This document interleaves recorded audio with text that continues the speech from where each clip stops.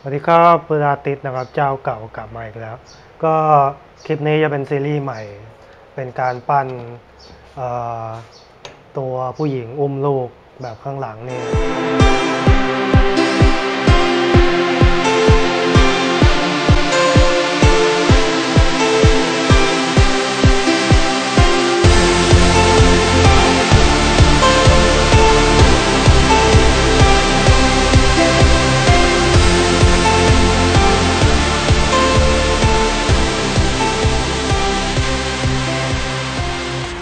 ก็คลิปนี้ก็จะเป็นว่าในเรื่องของการปั้นเป็นซีรีส์ใหม่ เป็นตอนใหม่ การปั้นผู้หญิง เป็นงานปูนปั้นที่ผมทำขึ้นมา ยังไงก็อย่าลืมกดติดตามกด subscribe ช่องของผมนะครับ เปิดอาติชแนลแล้วก็กดรูปกระดิ่งไว้ด้วยนะครับ เพื่อรับการแจ้งเตือนนะครับทีนี้ก็ได้ในส่วนของที่ถ่ายเอกสารมาจากที่ทำทำ 3D ไว้ในคอมพิวเตอร์ก็อันนี้ผมเปริ้นออกมาเรียบร้อยแล้ว ก็เป็น สี่ด้าน ด้านหน้า ด้านข้างซ้าย ด้านข้างขวา แล้วก็ด้านหลังปริ้นพอพอปิ้นออกมาแล้วเนี่ยมันมันจะเห็นภาพชัดขึ้น เดี๋ยวผมก็มาแปะแปะบนผนังอะจะได้เห็นความแตกต่างชัดขึ้น คือพอทำออกมาแล้วเนี่ยงานมันจะได้ง่ายขึ้น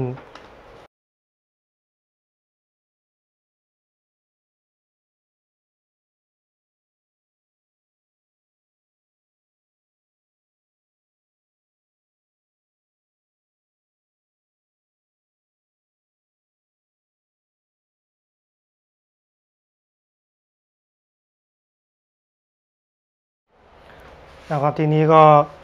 น่าจะพอเห็นภาพกันบ้างแล้ว อันนี้คือด้านหน้า อันนี้ด้าน อันนี้ด้านข้าง ด้านข้างซ้าย ด้านข้างขวา ส่วนอันนี้ก็ด้านหลัง แล้วก็จากที่ออกแบบในคอมพิวเตอร์ก็ไอ้เส้นดำๆพวกนี้ก็คือโครงสร้างเหล็ก อันนี้ผมคาดว่าน่าจะใช้เป็นเหล็กข้ออ้อย แล้วสองหุ่น เป็นเป็นโครงก็เนี่ยดูเวลาทำก็ดู ดูทุกด้านนะ ก็วัดตามนี้แหละ เดี๋ยวซื้อเหล็กมาก็ตัดตามนี้เลย แล้วก็เชื่อม แล้วก็ดัดให้มันเป็นโครงให้มันเป็นแขนให้มันเป็นขา ก็ข้อดีของการใช้คอมพิวเตอร์ออกแบบก็คือมันทำให้ทำให้งานง่ายขึ้นนะง่ายขึ้นเยอะเลย แต่เดิมมือมันต้อง sketch sketch ด้วยการปั้นมือเป็นอันเล็ก ๆ แต่นี่คือผมก็ลดขั้นตอนไปก็ใช้คอมพิวเตอร์เอา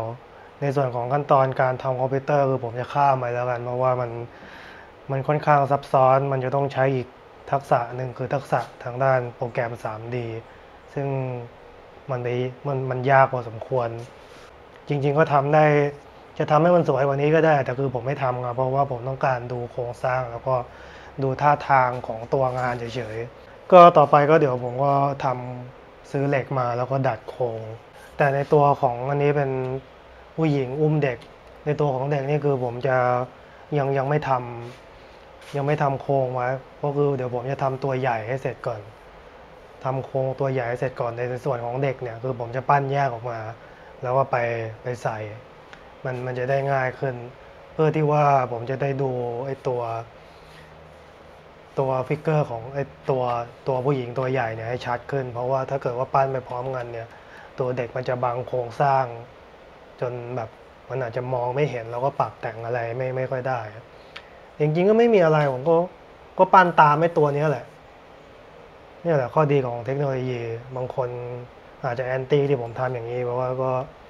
ก็ดักดานต่อไปนะก็โลกมันหมุนก็ ถ้ายังยืนอยู่กับที่มันก็ไม่พัฒนา ก็ไม่มีอะไรแล้วครับ เดี๋ยว เดี๋ยวไปทำทำโครงสร้างกันต่อ เดี๋ยวซื้อเหล็กก่อน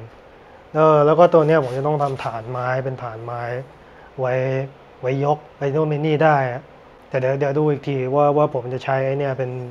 เป็นฐานเลยหรือเปล่านะครับทีนี้ก็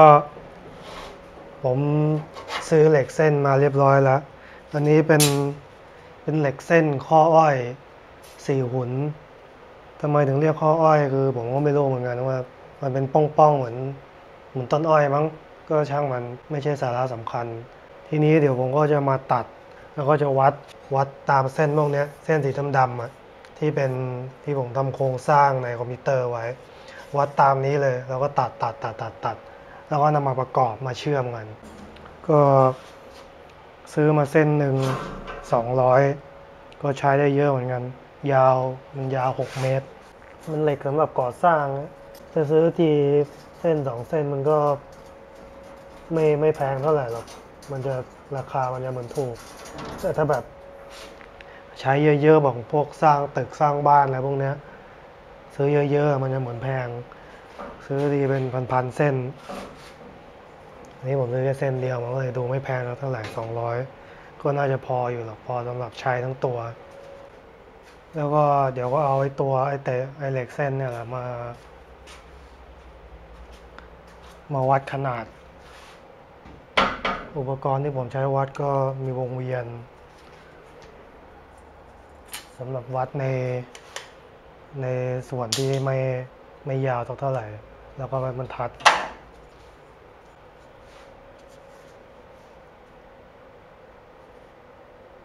ผมจะเริ่มจากแกนมันก่อน แกนเส้นหลัก แล้วค่อยมาไล่ในส่วนอื่น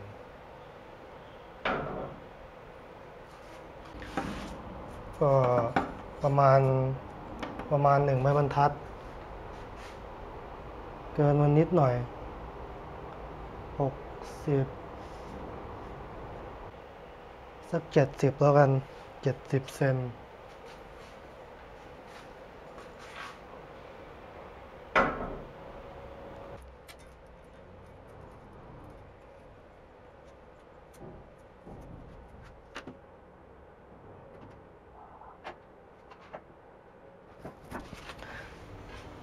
ก็เอามาตัดที่มาร์กไว้หายไปไหนวะพออยู่นี่ ตัดด้วยเครื่องตัดไฟเบอร์ก่อนตัดก็ใส่แว่นนั่นหน่อย เดี๋ยวเวลาตัดแล้วมันมีผงเหล็กบางทีมันเข้าตาเราเรามองไม่เห็นนะก็ต้องกันไว้ก่อนแล้วกัน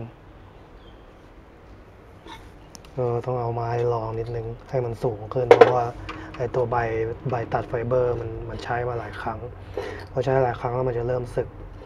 เริ่มสึกแล้วใบมันจะเล็กลง เล็กลง เล็กลงเนี่ยตอนซื้อมาก็ใบมันจะกว้างกว่านี้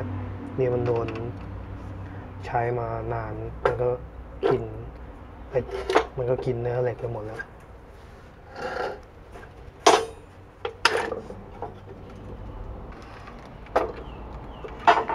หรือถ้าใครสังเกตคือไอ้ไอตัวไอ้ตัวใบตัด ไอ้ตัวเครื่องตัดเนี่ยคือผมเปลี่ยนใบเอาผมใช้ทั้งงานไม้แล้วงานเหล็ก สภาพมันเลยเย็นอย่างที่เห็นมันใกล้พังแล้วแต่ก็ยังใช้อยู่ เพราะมันยังใช้ได้ผมก็เลยไม่ซื้อใหม่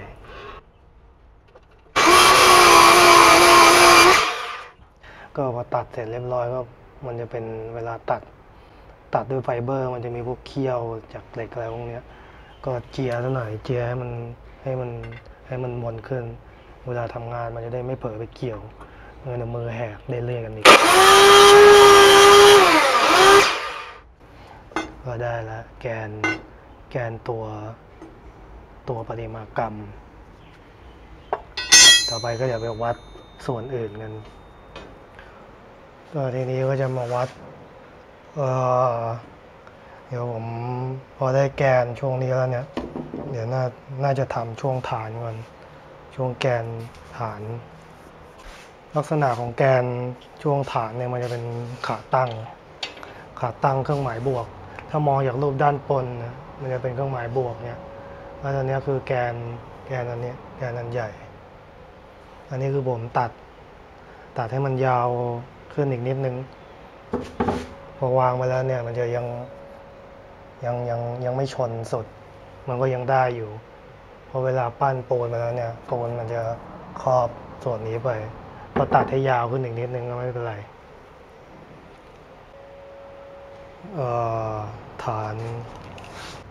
30 เซนก็มาวัดกับตัวเหล็ก 30 เซนอืมสัก 40 ได้บอกว่าเออ ลองดูสังเกตดูมันจะมีช่วงฐานที่กว้างๆเนี่ย40ก็น่าจะโออยู่ อืม สัก35แล้วกันพอมาฐานเป็นเครื่องหมายบวก ได้แล้วก็ทีนี้ จะมาทำในส่วนของ เอ่อ ช่วงหัวไหล่ ช่วงหัวไหล่ก็ประมาณยี่สิบยี่สิบ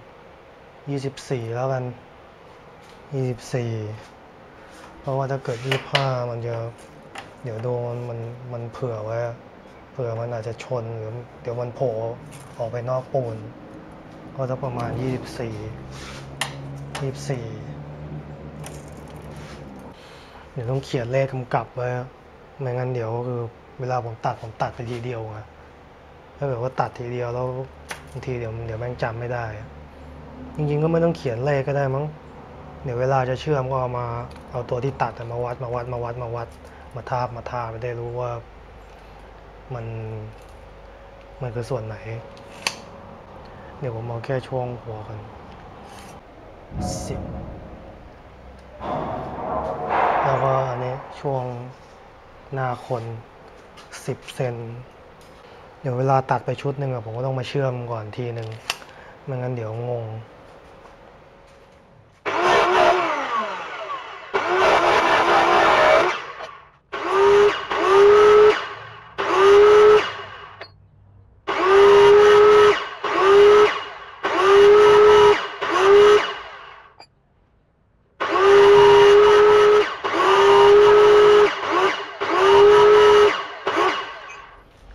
ทีนี้เดี๋ยวเราก็จะมาเชื่อมในส่วนของแกนหลักมันก่อน กนหลักก็คือแกนของตัวตัวลำตัวจนถึงฐาน แล้วก็อย่างเงี้ยเดี๋ยวเชื่อมเลยดีกว่าจะได้เห็นภาพ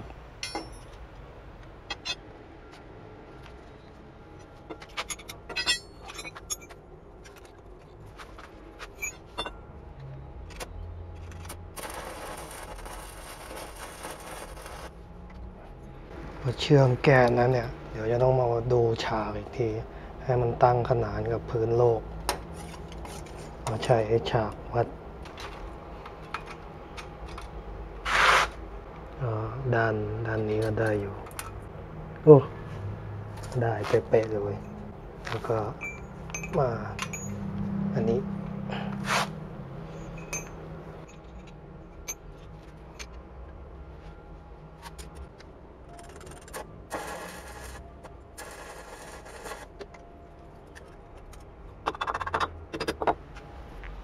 ทีนี้ก็มา ทำแกนนี้ต่อ เราต้องวัดให้มันให้มันฉาบ ไม่งั้นเดี๋ยวไปปั้นจริงถ้ามันไม่ฉาบ มันไม่เป็นตามแบบเดี๋ยวเดี๋ยวเหล็กมันโผล่ พอเหล็กมันโผล่แล้ววุ่นวายต้องมาเจียต้องมาอะไรอีก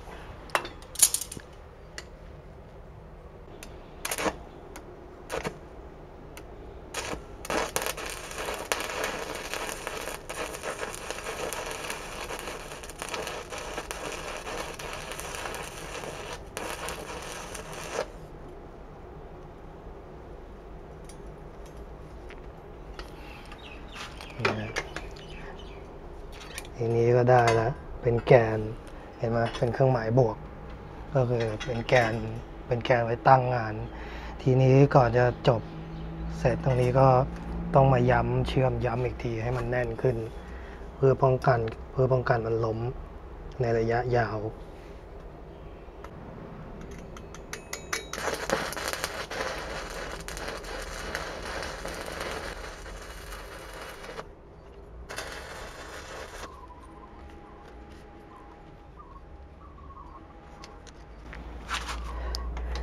ไอ้โค้งพวกนี้สำคัญ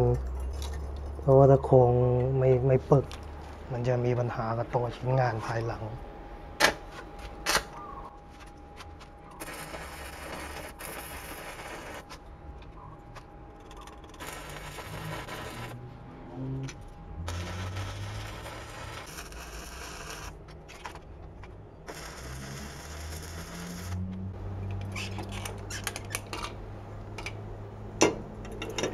อืมแน่นแน่น เปียะแน่นเปียะทีนี้เรามาเคาะไอเศษขี้ขี้เหล็กออก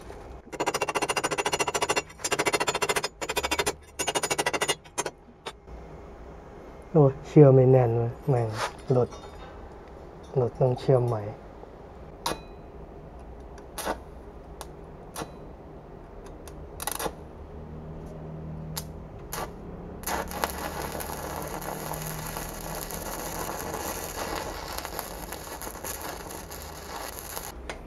อันนี้จุดประสงค์ของการเชื่อมของผมคือเชื่อมให้มันติดเฉยๆคือไม่ได้สนใจเรื่องความสวยงามอะไรพวกนี้ เพราะถ้าช่างเชื่อมมืออาชีพบางทีแบบเขาเชื่อมมาออกมาพวกนี้คือมันรอยเชื่อมมามันต้องสวย แต่อันนี้คือผมแค่เชื่อมให้มันติดให้มันอยู่ได้เฉยๆคือไม่ไม่ไม่ได้ไม่ได้ซีเรียสว่าจะต้องงานจะต้องสวยงามเพราะว่าไงเดี๋ยวดินมันก็เดี๋ยวดินเดี๋ยวปูนมันก็กบทับไปหมด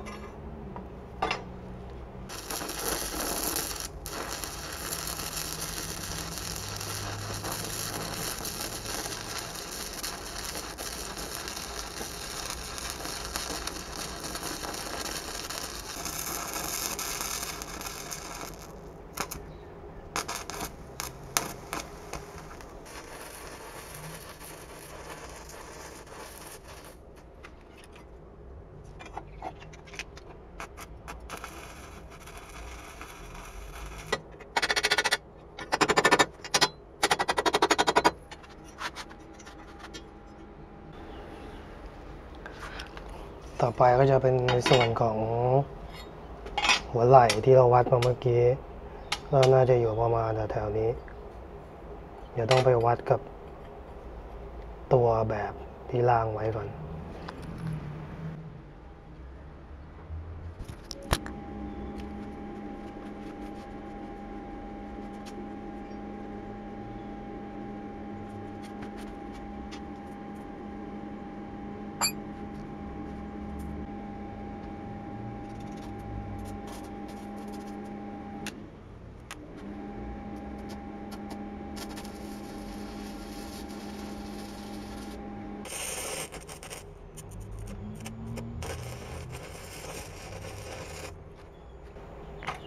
เวลาเชื่อมบางทีมันต้องจี้จี้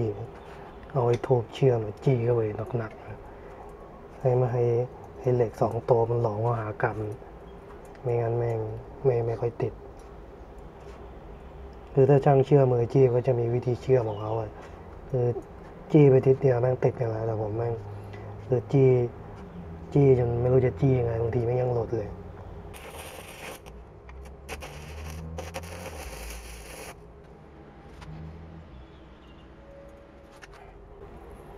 ไงจะโหลดถึงไหมวะเนี่ย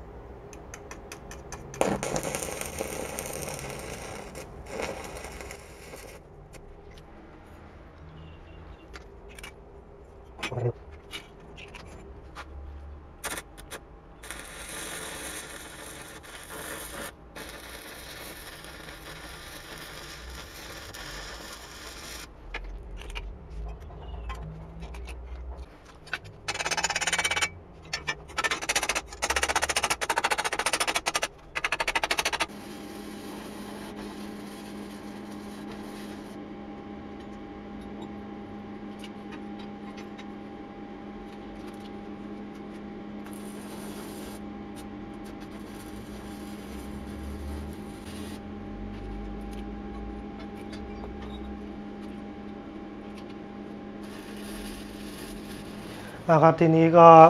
ขั้นตอนของการเชื่อมโครงสร้างก็เสร็จไปอีกขั้นตอนหนึ่งแต่ยังไม่เสร็จเพราะว่าผมจะเว้นช่วงแขนไว้ เดี๋ยวค่อยมาต่อทีหลัง เพราะว่าตัวงานเนี่ยมันจะมีมันจะมีเด็กตัวเล็กๆ เป็นเป็นแม่อุ้มเด็กอยู่ คือมันเท่ากับว่ามันต้องทำสองตัว แล้วก็ขั้นตอนมันจะซับซ้อนขึ้น แต่ถ้าปั้นตัวเดียวๆโดยที่ไม่มีเด็กอะผมสามารถใส่แขนไปได้เลย เชื่อมมาแขนติดไปได้เลย แต่อันนี้คือมีมันมีเด็กขึ้นมาอีกตัวหนึ่งมันทำให้รูปแบบการทำงานค่อนข้างซับซ้อน เพราะว่าผมจะต้องปั้นตัวนี้แยกมาด้วย แล้วพอปั้นตัวนี้แยกมา คือไม่ใช่ว่าปั้นแยกแบบสมบูรณ์แล้วมาแปะได้คือมันมันจะมีช่วงช่วงกล้ามเนื้ออนาโตมีของเด็กที่มันจะต้องจะต้องรับรับกับส่วนที่เป็นตัวตัวแม่ของมัน เนี่ยก็เป็นรูปแบบโครงสร้างที่เสร็จ เสร็จสมบูรณ์นิด เสร็จสมบูรณ์แต่ยังไม่ร้อยเปอร์เซ็นเดี๋ยวขั้นตอนต่อไปผมก็ต้องทำทำฐานไม้ยึดเนี่ยตอกตะปูยึดกับเพื่อที่ว่ายึดกับตัวตัวโครงสร้างเพื่อที่ว่าเอาไว้เป็นเป็นฐาน จะได้ยกไปไหนมาไหนได้ง่าย ๆ ทีนี้ต่อมาเราก็จะมาทำในส่วนของแท่นฐาน แท่นฐานที่คือก็ไว้ใช้วางวางอันนี้ วางแล้วก็ยึดยึดตะปูแล้วก็เป็นตัวแท่นฐานแต่จริงๆอันนี้คือฐานตัวงานจริงอะมันมันจะเกินฐานออกมานิดนึงเพื่อที่ว่าทำไว้ให้ให้มันยกเคลื่อนย้ายไปไหนได้ ก็เดี๋ยวเดี๋ยวมาตัดกันเลย อันนี้ผมวัดจาก ตัวแบบงานที่ผมถ่ายเอกสารมา ก็เดี๋ยวตัดประมาณ 40คูณ40เซนติเมตร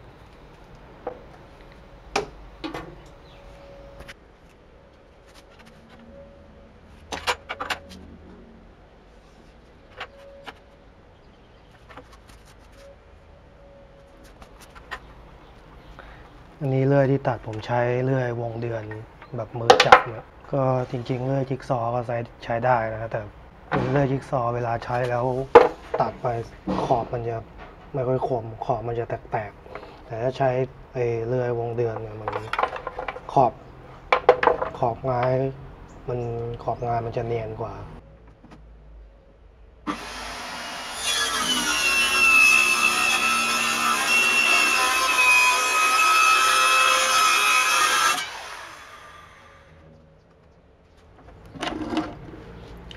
ทีนี้ก็ตัดเรียบร้อย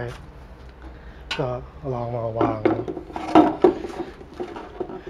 เออก็ได้อยู่ ทีนี้ก่อนจะวางเนี่ยผมต้องมาวัด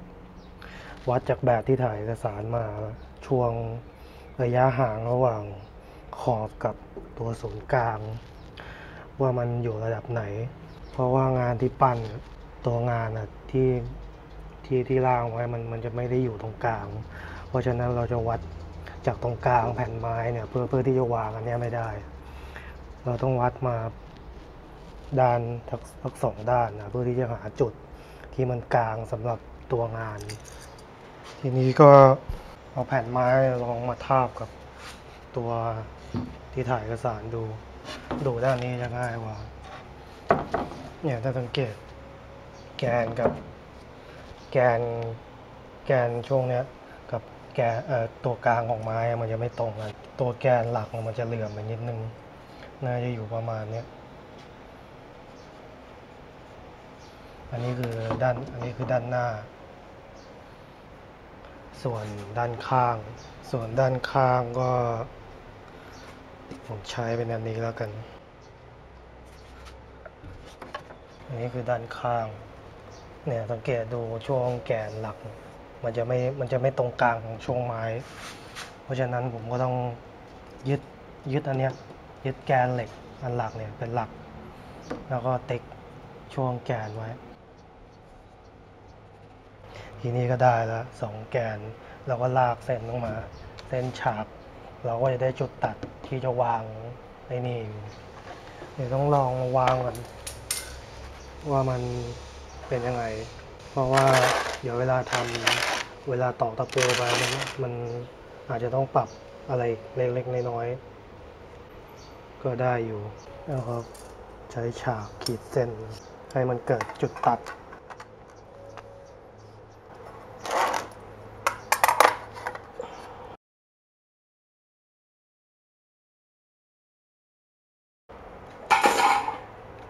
เนี่ยได้แล้วจุดตัด ก็ดูในกล้องมันอาจจะไม่ไม่เห็น เพราะผมใช้เมจิกสีสีน้ำเงิน แถมไม้กระดานเป็นสีดำไอ้พวกเส้นขีดๆไปมันอาจจะในกล้องมันอาจจะมองไม่ค่อยเห็น เราก็มาวางก็ได้อยู่แล้วเดี๋ยวทีนี้เราก็จะมายึดไอเนี่ยตัวแกนเหล็กกับแผ่นไม้ต้องใช้ตะปูนะครับทีนี้เดี๋ยวก็จะมาตอกตะปูยึดกับไอตัวไม้อันนี้ ก็เอาโต๊ะมาวางแล้วจะได้ไม่ต้องก้มๆเงยๆก็ตะปูที่ใช้ก็ตะปูธรรมดาเลยแหละเดี๋ยวตอกยึดเดี๋ยวดูใกล้ๆได้เห็น ก็มันจะมีเส้นของมันอยู่ที่ผมที่ผมขีดไว้ทีแรก เส้นหาจุดตัดให้มันอยู่ตรงกลางแล้วก็ตอกตามเส้นมายึดเอา ก็ยึดสองข้างก่อน ให้มันให้มันอยู่ได้ แล้วเดี๋ยวเราค่อยมาตอกให้มันโค้งอีกที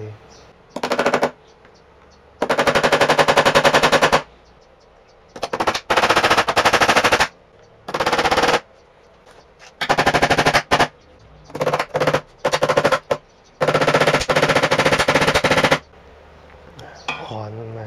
ขอนอันเล็กเกิน เวลาตอกไปทีมันเฉหมดมันไม่โดน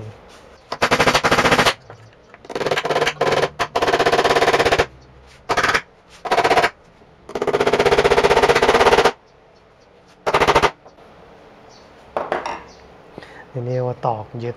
สี่ด้านได้แล้วก็เดี๋ยวจะมาตอกให้มันโค้งอีกทีหนึ่งเพื่อที่จะยึดยึดไม่ให้มันไม่ให้มันเคลื่อน แล้วก็ไม่ให้มันไม่ให้มัน โยกอีกที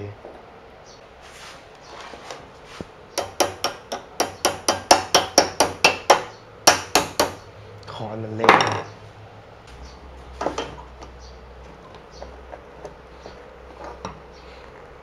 เดี๋ยวโยก โยกนี้กัน โยก แล้วค่อยเดี๋ยวค่อยมาตอกย้ำอีกทีพอดีคอนใหญ่ไปใช้งานอื่นอยู่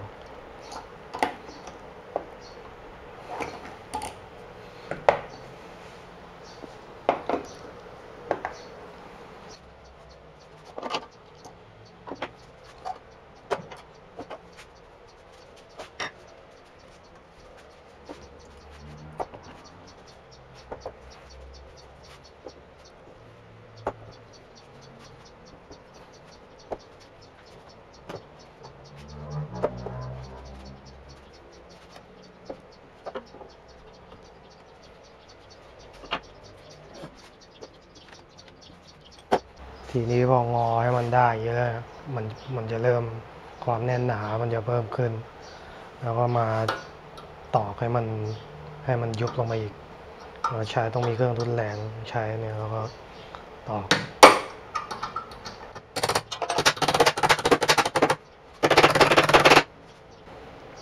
ค้อนเล็กมันตอกแล้วมันไม่ค่อยดี มันเล็กไงแรงในการตอกเลยน้อย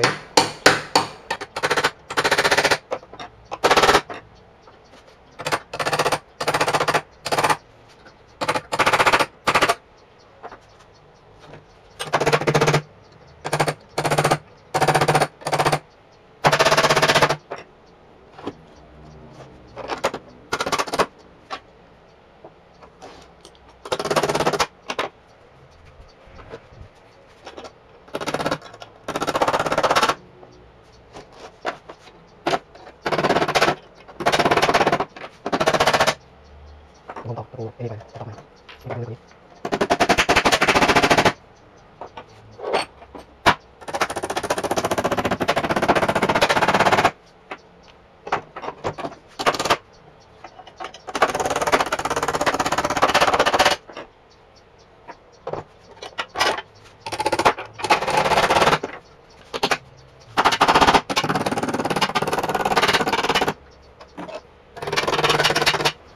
อะครับ ทีนี้ก็เรียบร้อยแล้ว